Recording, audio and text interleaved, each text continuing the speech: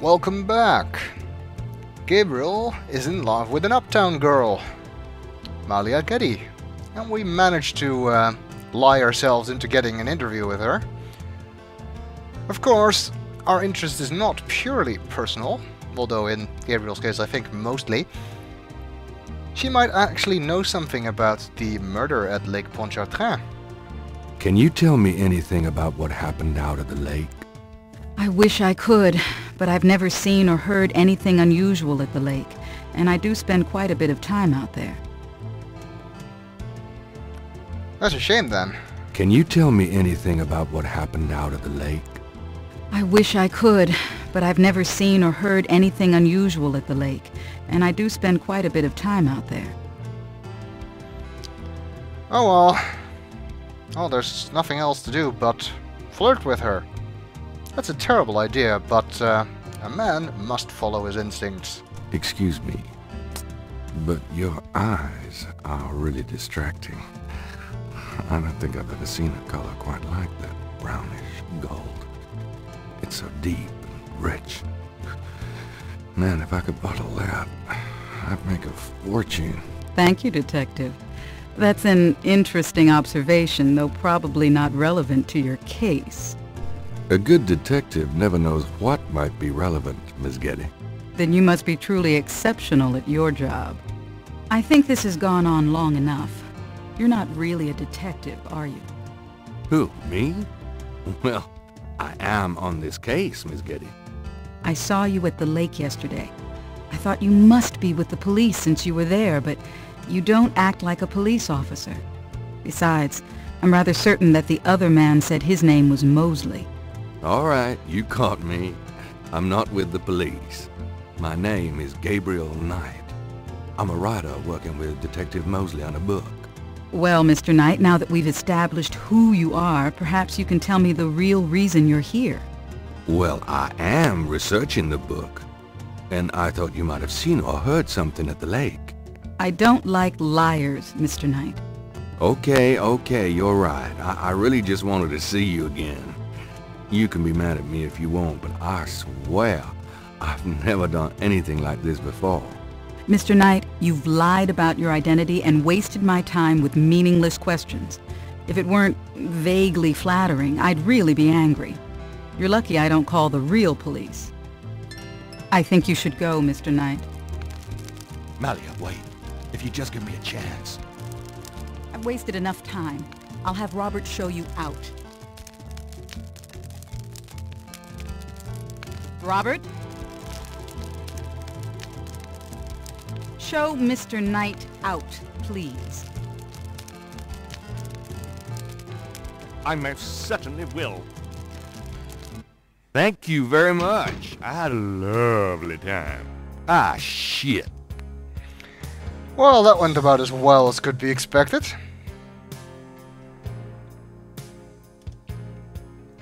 And I have a feeling they're not gonna let us in again.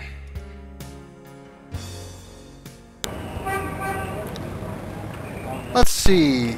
Um, we might want to check out the uh, Voodoo Museum again, because hopefully the owner, Dr. John, is uh, there this time.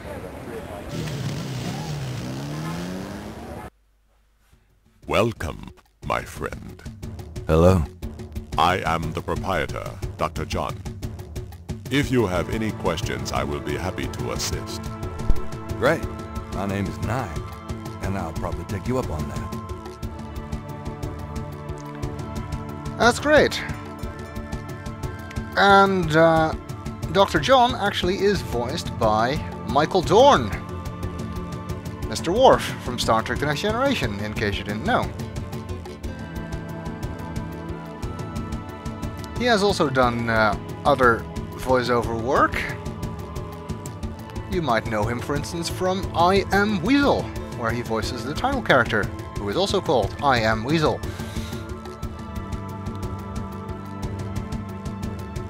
And let's talk to him, because if anybody's gonna know about voodoo, it must be him. This is quite a place you have here. Thank you, Mr. Knight. I have dedicated myself to the preservation of this unique culture. It is gratifying to see others reap the fruits I have sown. So where'd you pick up all this stuff? Oh, here and there. We accept donations of any pertinent items. Did you ever get any wackos in here? You mean besides yourself? Yeah, yeah. Besides me. I do not care to make those kind of judgments, Mr. Knight. All are welcome here. We're pretty quick to judge me. You're a big guy, aren't you? Do you work out? Play sports? I do not play basketball, if that is what you want to know. Who, me? No. You just look like such a natural athlete. I do find ways of keeping fit, Mr. Knight. After all, our bodies are temples. You sound like Grace. I should get the two of you together. Is Grace your wife? No, she just acts like it. Fair enough description. So what do you think of our summer weather? Have you ever seen it so overcast or so muggy? It is unpleasant.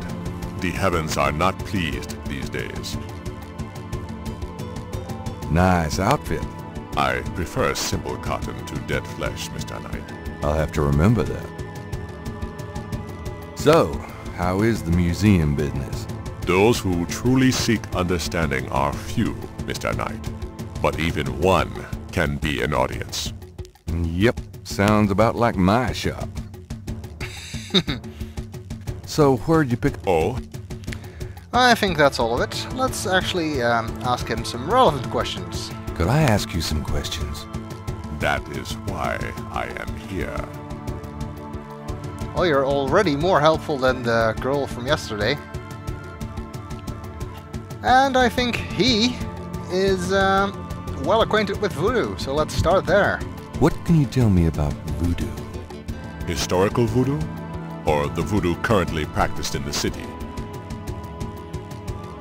Okay, well, let's start with historical voodoo and then work our way up to the present, I suppose. Tell me about historical voodoo. Very well. I will start at the beginning, Mr. Knight, and will go on from there at your prompting. Sounds good.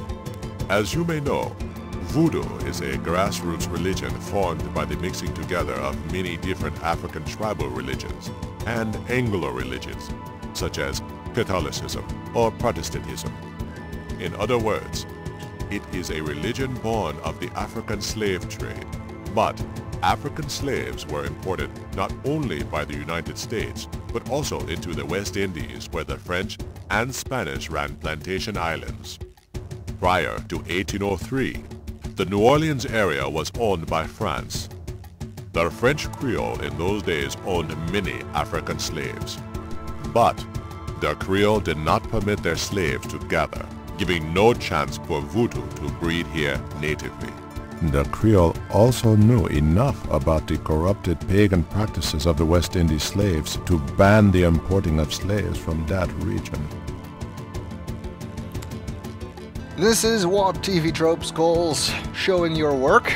They sure did their research for this game. So, how did voodoo come to New Orleans? After the Louisiana Purchase, American legislators relaxed regulations. Slaves were permitted to gather. The Americans also removed the ban on West Indies slaves. Around the same time, a slave revolt occurred in Santo Domingo, what is now Haiti. Between the lifting of the ban and the Haitian revolt, West Indies slaves began pouring into New Orleans. Some of them were free people of color, freed or escaped slaves. Some came with their white owners who were fleeing from the revolt. So you're saying Haitians are revolting? Okay, bad joke. What happened when the West Indies slaves got here? They brought voodoo with them. The native slaves were more than enthusiastic about embracing it. It gave them power, Mr. Knight, if only in the form of a communal bond. Among the first meeting places were the Bayou St. John and the shore of Lake Pontchartrain. The early voodoos were heavy snake worshippers, worshipping the one they called the Great Zombie. More snakes. And now we've got zombies into the mix too. Fun. Tell me more about historical voodoo. By 1817, the voodoo activities were beginning to cause fear among the white slave owners. An ordinance was passed to forbid slave gatherings except in designated public areas at designated times. The time was Sunday afternoons and the place, Congo Square. The slaves and free people of color gathered to dance simulations of their voodoo dances right in sight of Creole society.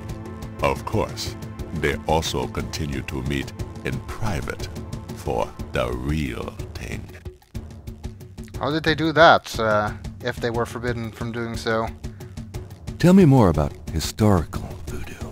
There were a variety of kings and queens at first, voodoo priests and priestesses.